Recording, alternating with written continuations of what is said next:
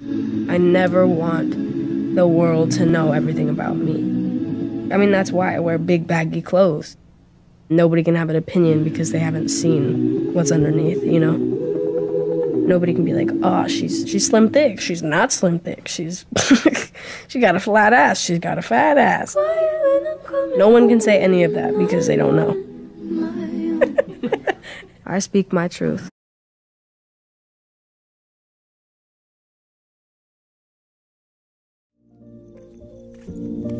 Yeah.